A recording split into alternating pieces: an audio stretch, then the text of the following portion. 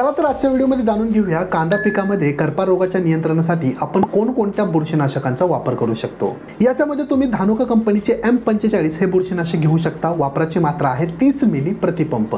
UPL कंपनीचे साप बुरशीनाशक देखील तुम्ही घेऊ शकता. वापराची मात्रा आहे तीस ग्रॅम. किंवा तुम्ही धानुकाचे स्पेक्ट्रल देखील घेऊ शकता. वापराची मात्रा आहे तीस मिली. तसेच सिंझल्टा कंपनीचे फॉलिओ गोल्ड देखील खूपच चांगले बुरशीनाशक आहे. वापराची मात्रा आहे तीस मिली.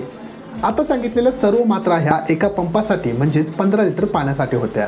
आता सांगितलेल्या सर्व बुरशीनाशकांची फवारणी घेताना आपल्याला एक काळजी घ्यायची आहे. याच्यामध्ये आपल्याला आय एफ सी म्हणजे इंडियन फार्मर कंपनीचे स्टिकर एक मिली प्रति लिटर पाण्याप्रमाणे वापरायला चुकायचे नाही.